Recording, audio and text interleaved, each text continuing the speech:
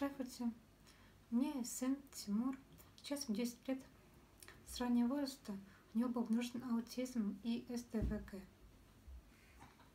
У нас до полутора лет ребенок развивался нормально. До прививки КДС. Но после прививки э, он начал деградировать в развитии.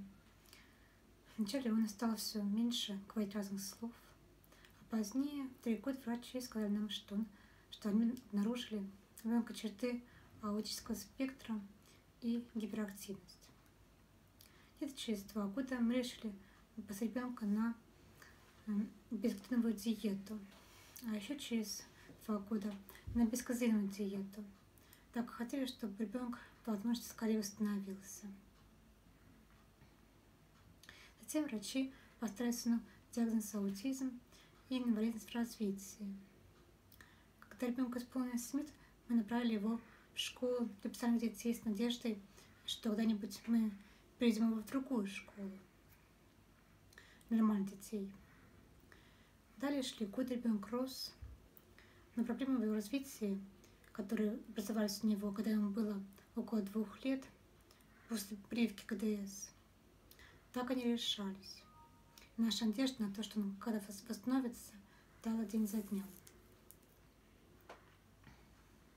Накануне Тимурнего дня рождения, десятилетия его, мы нашли Давида и начали дистанционное лечение в центре Давида БР этой зимой.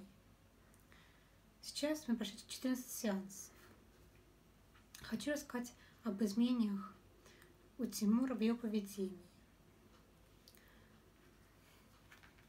Он стал в школе чаще находить самостоятельно длительный контакт со взрослыми. Стал также дольше удерживать на ком-то. Он стал больше, чем раньше, наблюдать за происходящим вокруг. Еще он теперь стал чаще проявлять собственную инициативу и лучше заниматься за партой по сравнению с предыдущим годом. Раньше Тимур не хотел распознать карточки в школе. Теперь он стал не только больше, чем раньше, рассматривать их, но и использовать некоторые из них самостоятельно.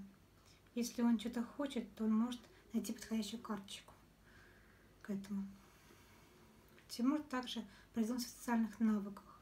Он стал наравне с другими детьми в его классе принимать участие в выполнении физкультурных заданий на уроках физкультуры. Ему стало приносить радость заниматься с другими детьми. На прогулке Тимур стал меньше нуждаться в том, чтобы его поддерживали за руку.